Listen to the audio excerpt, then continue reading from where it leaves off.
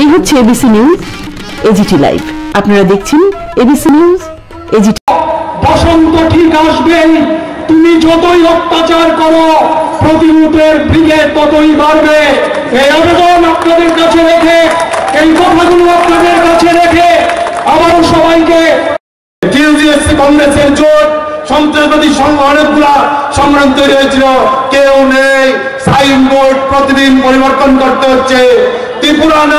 আমরা বলছি, যিনি মনে করছেন সন্ত্রাস করে ক্ষমতার সিংহাসনে থেকে যাবেন, আমরা বলছি, না, সন্ত্রাস করে সব সম্ভব না ন্যূনতম সিংহাসনে থাকতে পারবেন না। কারণ এই সন্ত্রাস মানুষ বেশি দিনে মেনে নেবে না।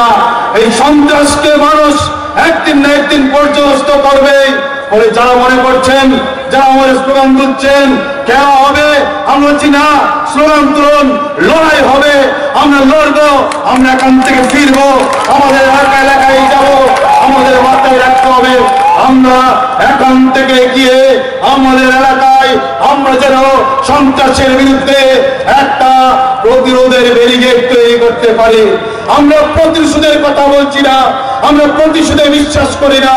কারণ আমরা যারা ডিআইএফআই করে, আমরা যারা এসএফআই করে আমরা যারা টিএসও টিএফআই করে, আমরা তো এটা বিশ্বাস করে চোখের বদলে চোখ চাই না, স্বপ্ন দেখার সাহস চাই।